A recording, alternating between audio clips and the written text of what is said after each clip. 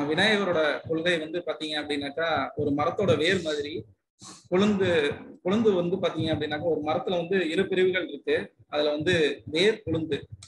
ஆஹ் விநாயகரோட கொழு விநாயகரோட கொள்கை அப்படின்னு பாத்தீங்கன்னாக்கா வேர் மாதிரி முருகரோட கொள்கை பாத்தீங்கன்னா கொழுந்து மாதிரி. பிள்ளைகள் வந்து பெற்றவங்களை வந்து எப்படி மதிக்க வேணும்? அதுக்கு வந்து நல்ல வழிகாட்டி யாருன்னு பாத்தீங்கன்னாக்கா முருகர் தான். சிவபெருமானுக்கு வந்து மொத்தம் வந்து மூன்று குழந்தைகள். ஐயப்பன் முருகர் பிள்ளையார். எல்லாமே வந்து பிள்ளைகளா இருந்தாலும் பிள்ளை யார் அப்படின்னு பாத்தீங்க அப்படின்னாக்கா அது வெறும் பிள்ளையார் மட்டும்தாங்க. ஒரு அப்பாவுக்கு இரண்டு பிள்ளைகள். அதாவது மூத்தவர் வந்து எப்போதும் சாதுவா இருப்பாரு. சாதுன்னா உங்களுக்கு அசடுன்னு பொருள் வந்துருச்சு. அதாவது அசடுன்னு கிடையாது. அது ஆசையற்ற அமைதியான பொறுமைசாலி அப்படிங்கிறது தான் உள்ள அர்த்தம். இரண்டாவது பிள்ளை வந்து சுறுசுறுப்பா இருப்பாரு. சொல்ற வேலை எல்லாமே ஓடி கப்பு மெடலு அந்த மாதிரி இதெல்லாம் வாங்குறது. மூத்தவன் வந்து பாத்தீங்கன்னாக்கா அம்மாவுக்கு ரொம்ப உதவியா இருப்பாரு. ரேஷன் கடைக்கு போறது மளிகை ஜாமான் வாங்கி கொடுக்கறது அப்பாவுக்கு மொபைல் கழுவி கொடுக்கறது அந்த மாதிரி வேலையெல்லாம் செய்வாரு. இளையவர் வந்து எப்போதும் தலைவர் தான் அவர் பாத்தீங்கன்னா வீட்டுல அவரை பிடிக்கவே முடியாது.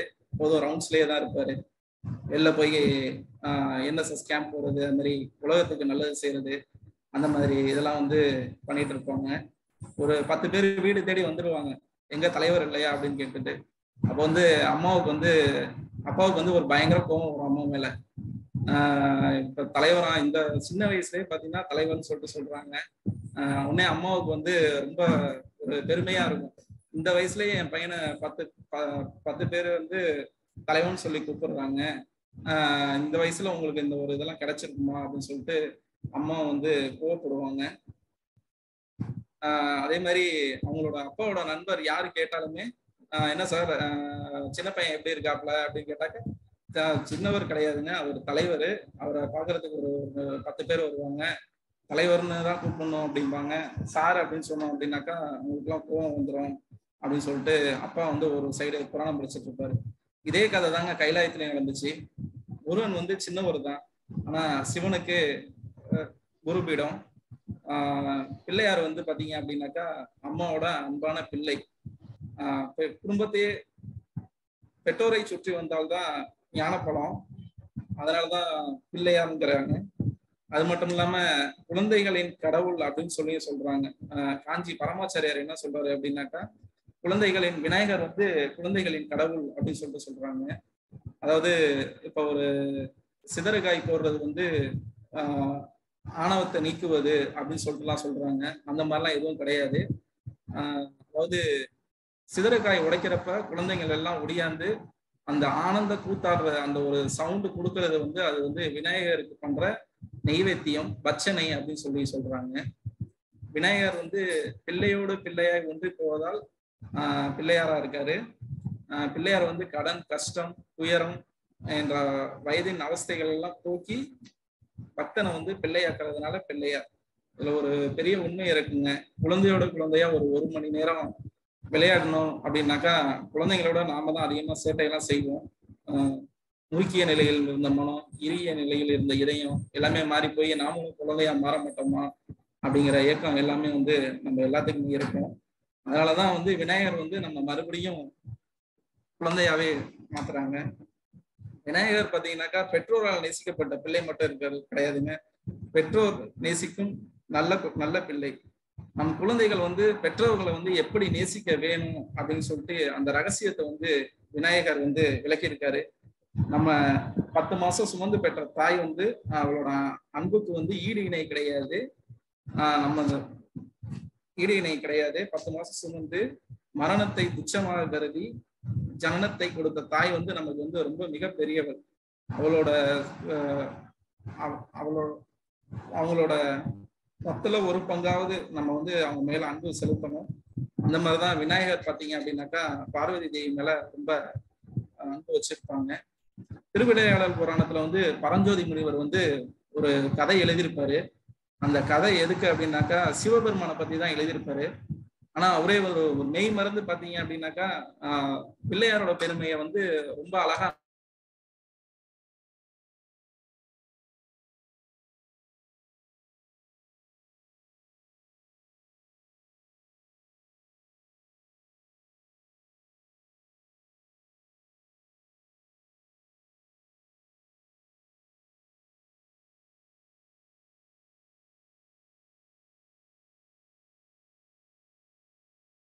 அவங்க பார்வதி தேவியார் மகளை பிறந்து வளர்றாங்க.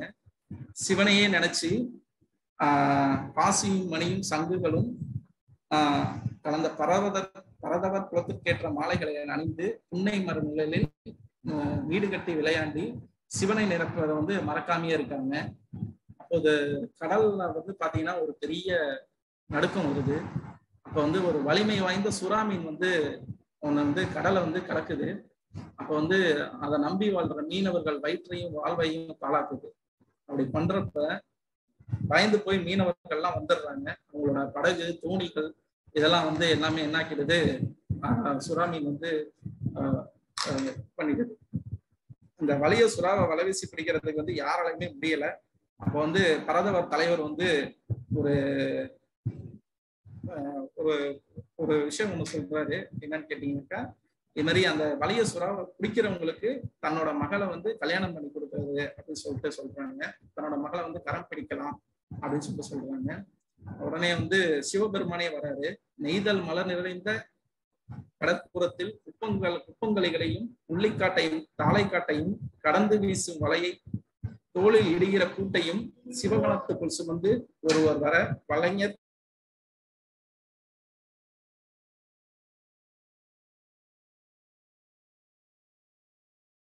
அங்கையற்கண் அங்கையற்கண் அம்மையின் விழிகளில் அழகிய மீன்விழி அழகிய மீன் விழியில் ஆஹ் மலை வீசி விட்ட காரணத்தால் பரம்பூர்லயே வந்து அந்த சுறா மீனை பிடிக்கிறதுக்கு வராங்க.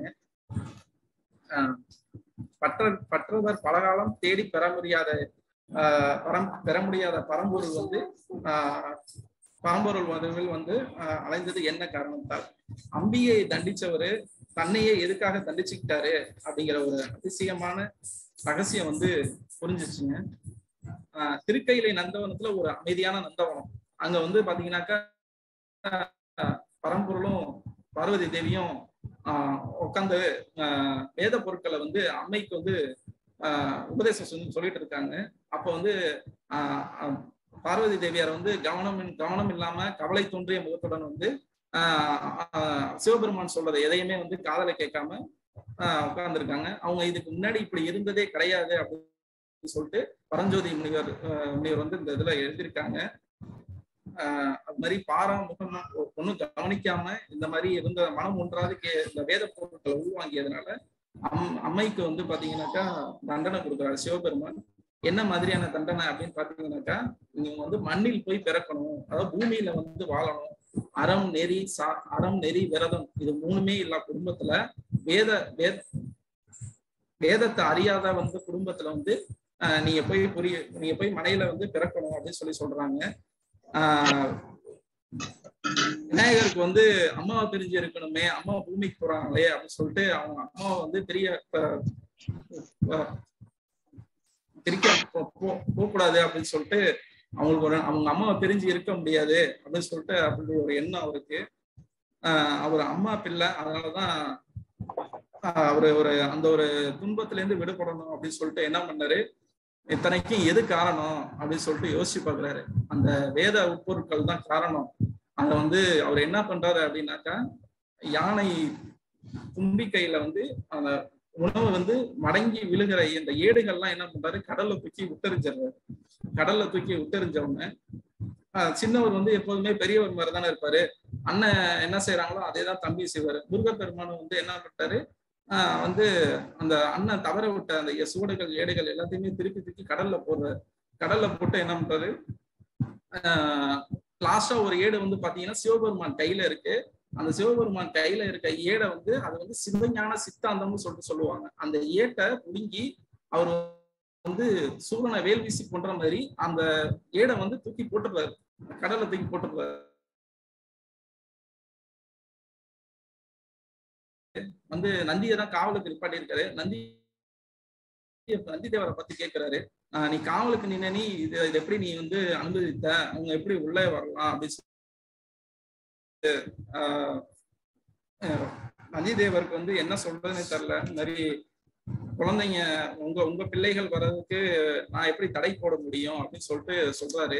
உடனே வந்து சிவபெருமான் வந்து என்ன சொல்றாரு அப்படின்னாக்கா நீ வந்து இந்த மாதிரி காவல் காக்க தவிரமைக்காக நீ வந்து என்ன பண்ணணும்? கடல்ல போயிட்டு அறிவற்ற சுறாமீனாக உப்பு உப்புக்கடலில் உல உலல கடவது என்றார் அப்படின்னு சொல்லிட்டு சொல்றாங்க. அதே மாதிரியே பாத்தீங்கன்னா பிள்ளை தவறு செய்தால் வந்து கணக்கு பிள்ளை மேல பாயும் முதலாளிகள் போல சிவபெருமான் வந்து கோவப்பட் சிவபெருமானுக்கு வந்து அவ்வளவு பாசமா என்னன்னு கேட்டாக்கா அதெல்லாம் கிடையவே கிடையாது. சிவபெருமான் வந்து அடுத்து என்ன பண்றாரு அப்படின்னாக்கா முருகரை பார்த்து நீ வந்து என்ன பண்ணணும் அப்படின்னாக்கா நீ வந்து உனக்கு என்ன சாபம் அப்படின்னாக்கா நீ வந்து ஒரு வாய் பேச ஊமையாக ஒரு குடும்பத்துல போய் பிறக்கணும் அப்படின்னு சொல்லிட்டு ஒரு அஹ், சாபம் ஒண்ணு கொடுக்குறாங்க. இவ்வளவுக்கும் பிள்ளையார் சொல்லி போட்டது யாருன்னு பாத்தீங்கன்னாக்கா நம்ம பிள்ளையார் தான். ஆனா வந்து அவருக்கு வந்து எந்த சாபமுமே விநாயகர் சிவபெருமான் வந்து கொடுக்கல. எதனால அப்படின்னு கேட்டீங்கன்னாக்கா ஆஹ் எதுக்காக அந்த சா- சாபத்தை வந்து சிவபெருமான் கொடுக்கலனாக்கா விநாயகர் மேல எந்த ஒரு சாபம் கொடுத்தாலுமே விநாயகருக்கு எந்த சாபம் கொடுத்தாலுமே அது வந்து விநாயகரை போய் சேராது. அது யாரு கொடுக்குறாங்களோ அவங்களுக்கு தான் போய் சேரும் அப்படின்னு சொல்லிட்டு சொல்றாங்க. அதனால சிவபெருமான் வந்து விநாயகரை வந்து சபிக்க கிடையாது. அதே மாதிரிதான் நம்மளோட விநாயகர் பக்தர்கள் யாரா இருந்தாலுமே சாபம் வந்து நம்மளை வந்து சேராது. சபித்தவர்களையே போய் சேரும். அதனால வந்து ஆஹ் சபித்தவனே சென்று சேரும். அம்மா மீது உள்ள பாசத்தினால பிள்ளையார் வந்து ஆஹ் பிள்ளையார் ரொம்பவும் மேலே போயிட்டாரு. அதனால வந்து பிள்ளையார் என்றால் அவர்தான். அடுத்து வந்து பாத்தீங்கன்னாக்கா பாவங்களின் அம்மா. உலகத்துல வந்து பாத்தீங்க அப்படின்னாக்கா எத்தனையோ பாவங்கள்லாம் இருக்கு. சகல பாவத்துக்கும் தாய் யாருன்னு கேட்டாக்கா பொய் மட்டும்தாங்க. எல்லா பாவங்களும் பொய்யால் தான் ஆஹ் வளர்க்கப்படுது. இது வந்து என்ன சொல்லலாம் அப்படின்னாக்கா பொய் தான் வந்து நரகத்தோட நுழைவு சீட்டு பாவங்களின் வளர்ப்பு பண்ணை. சிவ சிவ அரகர என்ற ஒளி எழுப்பியபடி அடியார்கள் வந்து பலர் வந்து சிவலோகத்துக்குள்ள போறாங்க. வாயில் காக்கும் துவாரக பாலர்கள் நின்று ஒவ்வொருத்தவங்களையும் பார்த்து எச்சரிச்சு உள்ளே அனுப்புறாங்க. அப்ப அப்ப வந்து தலைமேல் கரம் சுமந்து விழிமேல் நீர் சுமந்து மாணிக்க வாசகர் வந்து இடையில உள்ளர போயிடுவாங்க அடியார்கள் நடுவே சென்றால் வந்து சிவமாநகர் செல்வது வந்து நமக்கு ரொம்ப எளிது அப்படின்னு சொல்லிட்டு உள்ளே போயிடுறாரு. அப்ப வந்து என்ன பண்றாங்க அப்படின்னாக்கா அவரு அடியார்களுக்கு இடையில பாத்தீங்க அப்படின்னாக்கா ஒரு கை வந்து அவரை வந்து பிடிச்சி அந்த கூட்டத்துல இருந்து வெளியில இழுத்துட்டு வராங்க. அந்த கரத்தை வந்து நிறுத்தினது யாரு அப்படின்னு பாத்தீங்க அப்படின்னாக்கா அந்த வாயு காக்கும் துவாரக பாலகர்கள் தான். வெளில அழைச்சிட்டு வந்து கேக்குறாங்க. சிவமாநகர் சிவமாநகர் செ- சிவலோகம் செல்வதற்கு வந்து மாணிக்க வாசகருக்கு வந்து அனும அஹ், தகுதி பெறவில்லை அப்படின்னு சொல்லிட்டு சொல்றாங்க. ஏன் என்ன தகுதி அவர்கிட்ட இல்லை அப்படின்னு கேட்டோம்னா அவர் வந்து பொய் சொல்றாரு. பொய் இருந்ததுனால அவரை வந்து ஆஹ் சிவமாநகர் வந்து போ- போக முடியாது அப்படின்னு சொல்லிட்டு. அதுக்காக தான் சொல்றாங்க சிவமாநகர் குறுக போனார் அடியார் யானும் பொய்யும் புறமே போந்தோமே என்ற மாணிக்க வாசகர் வலிமையை விளக்கும் பொன்வரிகள். பொய் சொல்றது இந்த இன்றைய வாழ்க்கையில வந்து ஒரு பெரிய விஷயமாவே இல்லைங்க. ஆஹ் லீவ் வேணும்னா தாத்தா பாட்டி இறந்துட்டாங்க அப்படின்னு சொல்லிட்டு போயிடுவாங்க. அதே மாதிரியே பாத்தீங்கன்னா இறந்த தாத்தா பாட்டியே திருப்பியும் அந்த அலுவலர் வந்து கரெக்டா ஞாபகம் வச்சிருப்பாங்க. உடனே திருப்பியும் அது அப்பாவோட அம்மா இது அப்பாவோட தாத்தா அப்படின்னு சொல்லிட்டு ஏதாவது ஒரு ரீசன் சொல்லிட்டு போயிடுவாங்க. இந்த இந்த சமூக சூழ்நிலைக்கு வந்து ஒரு பொய்ங்கிறது வந்து ஒரு பெரிய குற்றமே இல்லை அப்படிங்கிற மாதிரி ஆஹ் எல்லாமே முடிவு பண்றோம். எனக்கு வந்து என்- என்னிடம் என்கிட்ட வந்து ஒரு நண்பர் வந்து சொல்றாரு. எனக்கு எனக்கு எந்த பழக்கமுமே கிடையாது சார் அப்படின்னு சொல்லிட்டு சொல்றாரு. நான் ஆச்சரியப்பட்டு நிஜமா சார் அப்படின்னு சொல்றேன். சிகரெட் பிடிக்கிறது இல்லை சார் அப்படின்னாரு. மாமிசம் உண்டதில்லை சார். ஆஹ் நானும் சொன்னேன் கலியுகத்துல இப்படிப்பட்ட ஒரு மனிதரா? சரி பரவாயில்ல அப்படின்னு சொல்லிட்டு நானும் ரொம்ப சந்தோஷப்பட்டேன். அப்புறம் வந்து அதே அதே மாதிரி வந்து மாதுவும் கிடையாது சார். அந்த மாதிரி எதுவும் விஷயமும் கிடையாது. அப்படின்னு சொல்றாரு. சாராயம் அந்த மாதிரி எதுவும் எதுவும் கிடையாது சார். நான் வந்து ரொம்ப பெருமைப்பட்டு என்னோட என்னோட நண்பர் விஷயத்த வந்து நான் இந்த ஒரு நண்பர்கிட்ட சொல்லி சந்தோஷப்படுவோம் அப்படின்னு சொல்லிட்டு சொல்றேன். அந்த நண்பர் வந்து என்னை பார்த்து சிரிக்கிறாரு. எதுக்காக சார் சிரிக்கிறீங்க? அப்படின்னு சொல்லிட்டு கேட்டேன் சார் அவர்கிட்ட வந்து அவர்கிட்ட இல்லாத ஒரு ஒரு ஒரு பழக்கம் வந்து உங்களுக்கு அவர்கிட்ட இல்லாத பழக்கம் வந்து ஒன்று இருக்கு. அது என்ன பழக்கம் அப்படின்னு கேட்டீங்கன்னாக்கா அவர் நிறைய பொய் சொல்லுவார் சார். உங்கள்கிட்ட வந்து ஒரு நாளைக்கு நூறு பொய் சொல்லிடுவாரு உங்கள்கிட்ட இதுவரை நாலு பொய் தான் சொல்லியிருக்காரு. இன்னும் தொண்ணூத்தாறு பொய் பெண்டிங் வச்சிருக்காரு. நான் வந்து யார்கிட்ட சொல்லுவாருங்கிறது கடவுள்கிட்ட தான் கேட்கணும் அப்படின்னு சொல்லிட்டு சொல்றாரு. இந்த உலகத்துல எதுவும் தவறு செய்யக்கூடாது அப்படிங்கிறவங்க வந்து ரொம்ப குறைவு. தவறு செய்யக்கூடாது என்ற எண்ணம் உள்ளவங்க தவறு. தவறு வந்து தெரியக்கூடாது நினைக்கிறவங்க தான் அதிகம். அதே மாதிரியே ஒரு நீதி இலக்கியம் திருக்குறள் என்ன சொல்லுது அப்படின்னு சொல்லி பார்ப்போம். கொஞ்சம் கற்பனையா பார்ப்போம். திருவள்ளுவரை பேட்டி எடுக்கிறதுக்கு ஒரு நிருபர் ஒருத்தர் போறாருங்க. ஒரு வார பத்திரிகை நிருபர் போறாரு. அவர் பார்த்து திருவள்ளுவரை பார்த்து ஃபர்ஸ்ட் கேள்வியே ரொம்ப ஷார்ப்பா கேட்கிறாரு நீங்க தான் திருவள்ளுவரா? நாங்க எப்படி அதை நம்புறது? அப்படின்னு சொல்லிட்டு கேட்கிறாரு திருவள்ளுவர் வந்து இந்த புன் சிரிப்போட அந்த மீசையில ஒளிஞ்சிருக்க அந்த சிரிப்போடயே சொல்றாரு. நீங்க தான் என்ன தேடி வந்து இந்த கேள்வி கேட்டிருக்கீங்க. அப்ப நான் தான் வந்து திருவள்ளுவரா இருக்க முடியும் அப்படின்னு சொல்லிட்டு பதில் சொல்றாருங்க. ஆஹ் ஒரு அடுத்த கேள்வியும் கேட்கிறாரு ஆயிரத்தி முன்னூத்தி முப்பது குரலையும் நீங்க எழுதிட்டீங்க. இந்த குரல் எல்லாம் மக்கள் வந்து கடைபிடிப்பாங்களா? ஆஹ் இதுக்கெல்லாம் வந்து மக்கள் பின்பற்ற முடியுமா? கடைபிடிப்பாங்களா? நம்புறீங்களா? அப்படின்னு சொல்லிட்டு சொல்றாங்க. ஆஹ் அதுக்கு வந்து ஆஹ் அதுக்கு வந்து திருவள்ளுவர் சொல்றாரு. யார் யாரு கடைபிடிக்கிறாங்களோ அவர்கள் தான் தம் மக்கள் அப்படின்னு சொல்லிட்டு சொல்றாரு. ஆஹ் அடுத்து சொல்றாரு எங்களுக்கு வந்து நீங்க பண்ண ஆயிரத்தி முன்னூத்தி முப்பது ஆறு அறம் சொல்லிட்டீங்க. எங்களோட வாசகர்கள்லாம் கொஞ்சம் பிஸியான ஆளுங்க அதனால ஏதாவது ஒரு ரெண்டே ரெண்டு அறம் மட்டும் சொல்லுங்க அப்படின்னு சொல்லி சொல்றாரு. ஆஹ் சொல்றேன் அப்படின்னு சொல்லிட்டு ஒன்று கொல்லாமை மற்றொன்று பொய்யாமை அப்படிங்கிறாரு. பேட்டியை முடிச்சுக்கிட்டு நிருபர் வந்து ஒரு போட்டோ எடுப்போம் சரி ஒரு பிரிண்ட்டுக்கு போட்டோ எடுப்போம் திருவள்ளுவரோட போட்டோ எடுப்போம் அப்படின்னு சொல்லிட்டு சொல்லி போறாரு. இவர் கவர்ச்சி இல்லாத ஆளியா? இவர் போட்டோ நமக்கு எதுக்கு அப்படின்னு சொல்லிட்டு வந்துட்டாரு. திருப்பியும் வந்து என்ன கேட்கிறாரு ரெண்டு ஆரமும் கஷ்டமா இருக்கும். எங்களுக்கு ஏதாவது ஒரு ஆரம் மட்டும் சொல்லுங்க அப்படிங்கிறாரு. அது மாதிரி சொல்றாரு. என்னன்னு கேட்டீங்கன்னாக்கா நாம் இருவர் நமக்கு இருவர் என்ற தத்துவத்திலிருந்து நாம் ஒருவர் ஒன்றே நன்று அதுவே நன்று என்ற குடும்ப கட்டுப்பாடு தத்துவத்திலிருந்து அறம் மட்டும் எதற்கு அப்படின்னு சொல்லி சொல்றாரு. ஆஹ் திருவள்ளுவர் வந்து சிரிச்சுக்கிட்டே போயிட்டாரு. அப்படியா அதே மாதிரி பொய் சொல்றதுலயே பாத்தீங்கன்னா ரெண்டு விதத்துல பொய் சொல்லுவாங்க. ஒன்னு வந்து வாயால் பொய் சொல்லுவாங்க. இன்னொன்னு வந்து உடம்பால் பொய் சொல்லுவாங்க. அதாவது ஒரு ஒரு ஐம்பது வயசு மதி மதிக்கத்தக்க நபர் ஒருத்தர் பாத்தீங்கன்னாக்கா தலைக்கு மேக்கப்பு டை இதெல்லாம் போட்டுட்டு வராரு. அவரை வந்து தன்னோட வாயால் வந்து பொய் சொல்லல. தன்னோட தோற்றத்தால் அவர் பொய் சொல்றாரு. அதே மாதிரியே பாத்தீங்க அப்படின்னாக்கா பெண்கள் வந்து அடுத்த ஒரு பெண் வந்து அடுத்த வீட்டுல வந்து நகையை வந்து இரவல் வாங்கி போட்டுட்டு போறாங்க. அப்படி போறப்ப அந்த பொண்ணு வந்து இது என்னோட நகை தான் அப்படின்னு சொல்லிட்டு யார்ட்டையும் சொல்ல போறதும் கிடையாது. ஆனா அந்த பொண்ணுக்கே தெரியும். இது வந்து அதனால இது வந்து அந்த பொண்ணு பாத்தீங்கன்னாக்கா வாயால் பொய் சொல்லவில்லை தோற்றத்தால தான் அவங்க பொய் சொல்றாங்க. இத இதனாலதான் வந்து தமிழ்ல வந்து ஒரு ஒரு மூணு வார்த்தையே வந்துச்சுங்க. வாய்மை உண்மை மெய்மை அப்படின்னு சொல்லிட்டு. வாய் வாய் வழி பொய் கூறாமை. அது வந்து வாய்மை உள்ளத்தால் பொய்யாது ஒழுகும். அது வந்து உண்மை உடம்பால் பொய் சொல்லாத பொய் கூறாத மெய் மெய்மை அப்படிங்கிறாங்க. இது மூன்றுலயும் பாத்தீங்கன்னாக்கா பொய்மை தான் இருக்கு. அதனால உண்மைய உள்ளது உள்ளபடி உணரும். உள்ளது உள்ளது உள்ளபடி மெய்நெறியே வாழ்வின் உண்மையான நோக்கம். எனவே பொய் வந்து எந்த விதத்துல வந்து நம்மளை தீண்டுனாலும் நம்மளோட வாழ்வு பாலாகும் அப்படிங்கிறது வந்து பாத்தீங்கன்னா ஞானிகளோட கருத்து. அதே மாதிரிதான் நம்ம ஹரிச்சந்திரன் கதை கேள்விப்பட்டிருப்போம். தேசம் மனைவி மக்கள் இது எல்லாமே இழந்த நிலையிலும் பொய்மை பொய்மையை இழக்காத ஹரிச்சந்திரன் கதை. ஆஹ் விஸ்வாமித்திரர் வந்து சொல்றாரு ஆஹ் உனக்கு வந்து இழந்த செல் இழந்த நாடு செல்வம் மனைவி மக்கள் எல்லாமே வந்து உனக்கு கொடுக்க உனக்கு கொடுக்குறோம் திரும்ப கொடுக்குறோம். நீ ஒரே ஒரு பொய் மட்டும் சொல்லு அப்படின்னு சொல்லிட்டு சொல்றாரு. ஆஹ் அவர் வந்து ஹரிச்சந்திரன் வந்து அதுக்கு வந்து கட்டுப்படல. பொய் சொல்ல மாட்டேன் அப்படின்னு சொல்லிட்டு சொல்றாரு. பொய் சொல்ல மாட்டேன் அப்படின்னு சொல்றாரு. எல்லா எல்லாத்துக்குமே பாத்தீங்கன்னாக்கா ஒரு ஒரு ஒரு சந்தர்ப்பத்துல பொய் சொல்ற ஒரு நிலைமை ஒண்ணு வரும். அது எப்பன்னு பாத்தீங்கன்னாக்கா மதியானம் லஞ்ச் முடிச்சதுக்கு அப்புறம் தான் அந்த ஒரு இதே வரும். என்னன்னு பாத்தீங்கன்னாக்கா ஒருத்தர் ரெண்டு பேர் பேசிட்டே இருப்பாங்க. ஒருத்தர் பேசிட்டே இருப்பாரு இன்னொருத்தர் கேட்டுட்டு இருக்கிறாரு அப்படியே லைட்டா கண்ணு அசந்துருவாரு.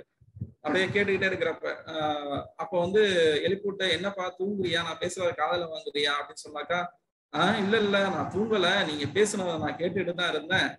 லாஸ்ட்ல கூட ஏதோ பஸ்ஸை பத்தி பேசிட்டு இருந்தீங்களே அப்படின்னு சொல்லிட்டு இடையில லாஸ்ட்ல இருந்து சொல்லுவார். ஆனா கடைசியில அவர் வந்து அதை வந்து கவனிச்சிருக்கே மாட்டார். அவரு சொல்றது வந்து ஒரு விதத்துல பொய் தான். ஆனா வந்து அதே மாதிரிதான் விஸ்வாமித்திரர் வந்து ஹரிச்சந்திரன்ட்டையும் அதே மாதிரிதான் ஒரு ஒரு ஒரு உணவு இடைவேளையை முடிச்சுட்டு விஸ்வாமித்திரர் வந்து ஹரிச்சந்திரனோட உரையாடுறாரு. அப்படி உரையாடுறப்ப ஹரிச்சந்திரன் ஹரிச்சந்திரனுக்கு வந்து லைட்டா வந்து கண்ணு வந்து தூக்கம் வந்துருது.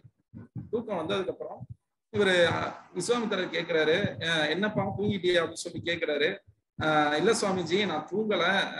நான் வந்து தூங்கிட்டேன். ஆமா லைட்டா வந்து எனக்கு கண்ணு வந்து அசந்துருச்சு. நான் தூங்கிட்டேன். நீங்க பேசுனது எதையுமே நான் காதல வாங்கல அப்படின்னு சொல்லிட்டு இப்ப வந்து இவர் எந்த நிலையிலையும் வந்து ஹரிச்சந்திரன் பாத்தீங்கன்னா உண்மையே உண்மை உண்மையை தான் பேசுறாரு. பொய்யே பேசவே இல்லை. இப்ப வந்து இன்னைக்கு வந்து பாத்தீங்க அப்படின்னாக்கா நிறைய பேர் வந்து தங்களுக்கு நிறைய அனுபவம். ஆஹ் நான் நான் வந்து ஏதோ பிறரை விட வந்து உயர்ந்த நிலையை பெற்று விட்டதா அந்த ஒரு மன பிராம் மனப்பிரமையிலேயே இருப்பாங்க. இதுல எல்லாமே வந்து பொய்யோட பரிமாணங்கள் தான். ஆஹ் இது வந்து ஒரு வகை மனநோய் தான். ஆஹ் இத இத வந்து இத வந்து பிறரிடம் பயன்படுத்துவர்கள் இதன் மூலம் பிறரை ஏமாற்றுபவர்கள் இதுல இதெல்லாம் பண்றாங்க அப்படின்னா இவங்களே நாளடைவுல இவங்களை ஏமாத்திப்பாங்க அப்படிங்கிறது ஆஹ் தான் அர்த்தம்.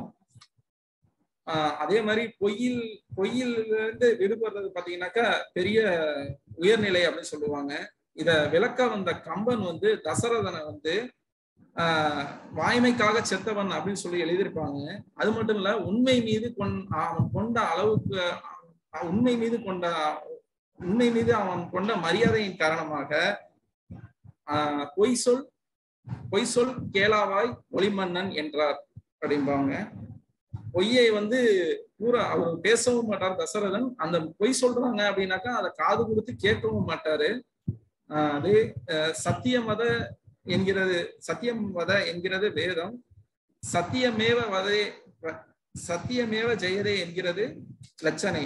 ஆஹ் ஆனா வந்து பாத்தீங்கன்னா இந்தியால வந்து பாத்தீங்கன்னா எங்கும் போய் எதிலும் போய். ஒரு ஒரு அரசியல்வாதிகிட்ட போயிட்டு நம்ம வந்து உண்மையை சொல்லுங்க. முன்னெல்லாம் வந்து ஏதாவது ஒரு பொய் சொல்லுங்கன்னு சொல்லிட்டு ஆஹ் விஸ்வாமித்திரர் வந்து ஹரிச்சந்திரன்ட்ட கேட்டிருக்காங்க. இப்ப அப்படியே எல்லாமே ஒரு உண்மையை சொல்லுங்க அப்படின்னு சொல்றதுக்கு சொல்றணும் அப்படிங்கிற மாதிரி இருக்கு. பொய்ய வந்து எல்லா விதத்துலயும் நம்ம வந்து நிராகரிச்சு ஆகவே வேணும். ஒரு விஷ ஜந்து வந்து ஒரு ஏழு குட்டி போடுது அப்படின்னாக்கா அந்த விபத்தை ஒரு விபத்துல வந்து ஒரு அந்த ஜந்து வந்து இறந்துடுது அப்ப என்ன பண்ணுது? ஏழு குண்டி ஏழு குட்டிகளும் ஆதரவு இல்லாம கவனிப்பார் இல்லாம செத்து போகும். அதே மாதிரிதாங்க இந்த பொய்யும். ஆஹ் இந்த பொய்யெல்லாம் செத்துருச்சு அப்படின்னாக்கா ஆஹ் இந்த தாய் செத்து போனதுனால பொய் எல்லாமே இந்த குட்டிகள் எல்லாமே பொய்கள் மாதிரி. அந்த தாய் செத்து போயிடுச்சு அப்படின்னாக்கா பாவமும் பொய்யும் சேர்ந்து செத்து போயிடும். அதே மாதிரிதான் வேதம் படிக்கிற இடத்துல வந்து வேதம் படிக்கிற விருப்பத்தோட ஒரு பையன் வந்து ஒரு ஒரு குடிசைக்கு போறான். அந்த ஒரு இளம் சிறுவன். ஆஹ் அது அந்த பையனுக்கு வந்து வேதம் படிக்கிறதுக்கான தகுதி இருக்கா அப்படின்னு சொல்லிட்டு அந்த குரு என்ன பண்றாரு? உன்னோட தகப்பன் பேர் என்ன? அப்படின்னு சொல்லி கேக்குறாரு. ஆஹ் எனக்கு தந்தை பெயர் தெரியாது. என் தாயார் என்னை என் தாயார் தான் என்னை வளர்க்குறாங்க. ஆஹ் மற்ற மாணவர்கள் எல்லாமே வந்து என்ன சொல்றாங்க? சிரிக்கிறாங்க. உடனே குருநாதர் என்ன சொல்றாரு? நாளைக்கு உன் தாயை நான் கேட்டு தெரிஞ்சுட்டு வாப்பா அப்படின்னு சொல்லி சொல்றாங்க.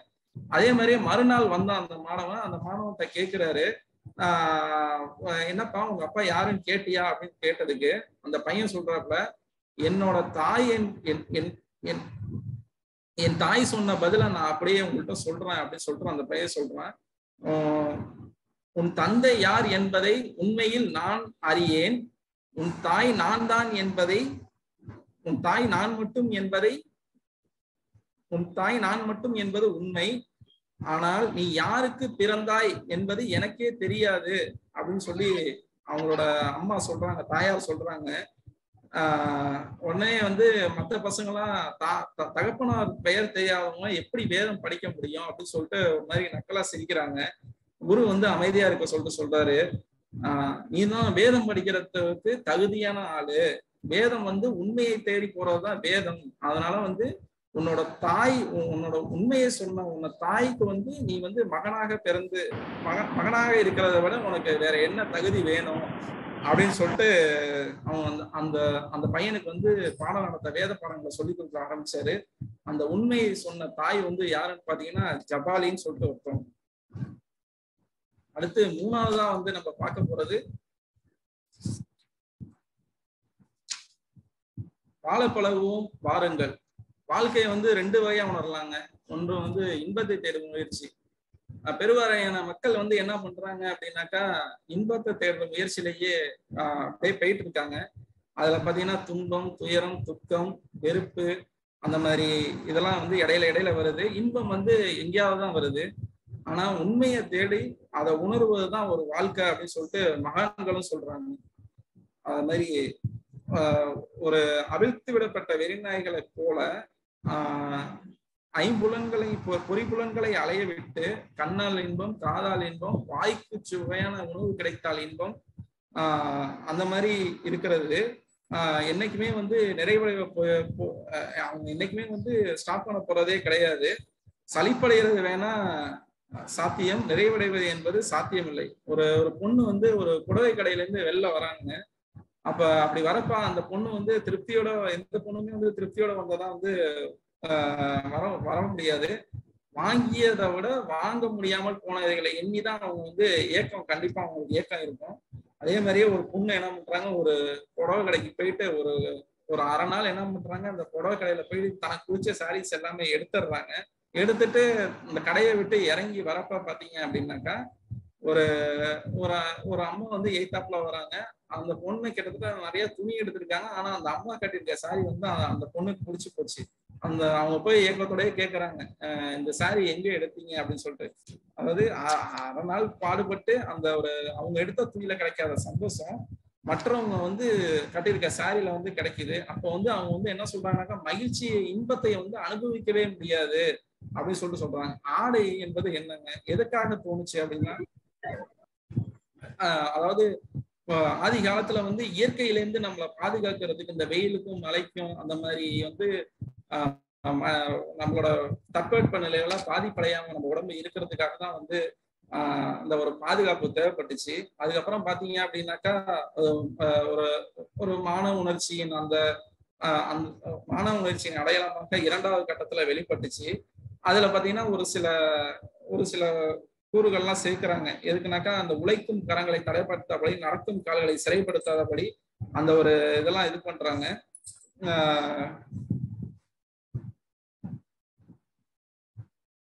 இப்ப தட்பவெப்பம் உணர்ச்சிகள் அந்த ஆடை அடிவமைப்பு அந்த இதெல்லாம் வந்து அஸ்திவாரம்லாம் அதிகம் அப்படியே அ- அடியோட தகர்ந்துருச்சு. எதனாலன்னு கேட்டாக்கா இப்ப நிறைய தங்கச்சரிகைகள் வெள்ளி இலை பட்டு அந்த மாதிரிலாம் அடை வர்றது ஆடை வர்றது அதனால வந்து இந்த ஒரு இதுவே மாறி போச்சு இதுக்காக எல்லாமே வந்து காவி வேஷ்டி கட்டிட்டு போகணும் அப்படின்னு சொல்லிட்டு சொல்லல. அவங்க அவங்களுக்கு பிடிச்சிருக்கு அப்படின்னாக்கா அந்த அந்த ஒரு இதை விருப்பமான துணிகளை வந்து உடுத்திக்கலாம். ஆனா அது வந்து அவங்களுக்கு ஒரு இன்பமா இருக்கணும். அந்த இன்பத்துல வந்து நம்ம வந்து உண்மையை தேட முடியும். அந்த அந்த இன்பம் பெறது வந்து நமக்கு உண்மையா இருக்கணும் அப்படின்னு சொல்லிட்டு சொல்றாங்க. ஆஹ் இன்பம். அதே மாதிரி ஒரு சிலருக்கு மரணம் என்பது பாத்தீங்கன்னா ஒரு சிலருக்கு சம்பவம் ஒரு சிலருக்கு சத்தியம் சத்தியம் எப்படியும் மரணம் என்பது இருக்கும். ஒரு சாவுக்கு வந்து ஒருத்தவங்க அழு- அழுகுறாங்க அப்படின்னாக்கா ஆஹ் அவங்க சாவுக்கு எத்தனை பேர் அழுகுறது நமக்கு தெரிஞ்சவங்க எத்தனை பேரு? எல்லார் சாவுக்கும் நம்ம அழுவ முடியுமா? செத்தவர் ஆஹ் அழுவதால என்ன பயன்? உயிரோட திரும்பி வந்தா நமக்கு என்ன இது? பெரிய நன்மை விளைய போகுது. இதெல்லாம் வந்து ஒரு வினாக்கள் அல்ல. ஆனா உண்மையை குலைந்து எடுக்கக்கூடிய உபகரணங்கள். ஆஹ் ஒரு மரண வீட்டுல வந்து எல்லாமே அழுதுட்டு இருக்காங்க. அப்ப வந்து அந்த வழியா வந்த பட்டினத்தார் வந்து அவரும் சேர்ந்து அழ ஆரம்பிக்கிறார். கதறி கதறி அழுகுறாரு. ஆஹ் மத்தவங்க எல்லாம் பார்த்துட்டு என்னடா அவரு முற்றும் துறந்த முனிவர் மாதிரி இருக்காரு. இவரே இப்படி இவருக்காக இப்படி அழுகுறாரு அப்படின்னு சொல்லிட்டு அவங்க சொந்தக்காரங்க இன்னும் சேர்ந்துக்கிட்டு அழுகுறாங்க. அப்படி அழுகுறப்ப ஆஹ் அழுகுறவங்க ஒரு ஒரு ஸ்டேட்ல வந்து எல்லாமே ஸ்டாப் பண்ணி தான் அழுவைய அப்படி நிறுத்தி அப்படி நிப்பாட்டிட்டு ஆஹ் சுவாமியை கேக்குறாங்க. சுவாமி இறந்து போனவர் வந்து உங்களுக்கு தெரியுமா? அப்படின்னு சொல்லிட்டு கேக்குறாங்க. அவரு சொல்றாரு எனக்கு வந்து தெரியாது யாரும் தெரியாது. நாங்கெல்லாம் உறவினர்கள் நாங்க அழுகுறோம் நீங்க எதுக்காக அழுகுறீங்க அப்படின்னு சொல்லிட்டு கேக்குறாங்க. அதுக்கு அவரு சொல்றாரு செத்த பணத்திற்காக சாக போகும் பிணங்கள் எல்லாம் அழுவது வந்து மூடத்தனம். அதனால அழுகிறவனுக்கு மட்டும் சாவு கிடையாதா என்ன? அப்படின்னு சொல்லிட்டு பட்டினத்தார் வந்து கேள்வி கேட்கிறாரு மரணம் என்கிறது ஒரு நி நிகழ்ச்சி. அது பிறந்தா எல்லா உயிருக்குமே வந்து இறப்புங்கிறது ஒன்று உண்டு. அதாவது ஒரு கிழிஞ்சு போன ஆடை போலதாங்க.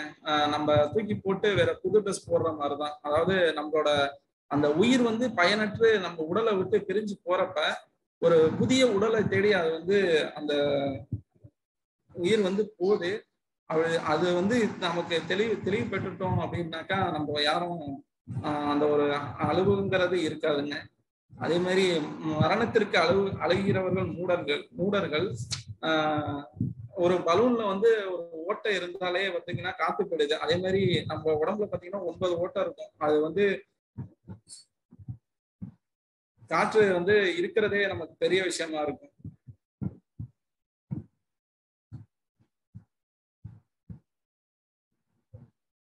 ஆன்மா வந்து உண்மையிலே எல்லையற்றது. அதற்கு வந்து நேரம் காலம் அந்த மாதிரி இதெல்லாம் வந்து எதுவுமே தெரியாது.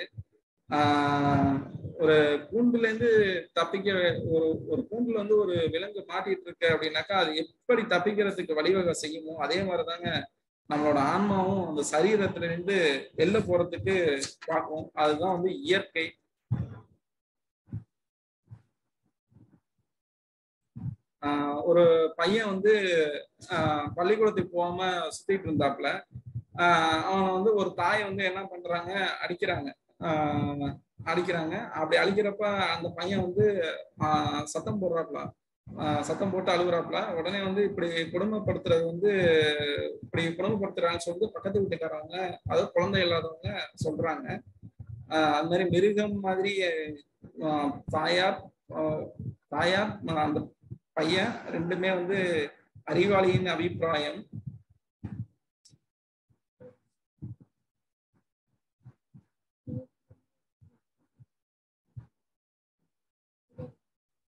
ஹலோ சார் சொல்லுங்க சார் சார் முடிஞ்சிச்சுங்களா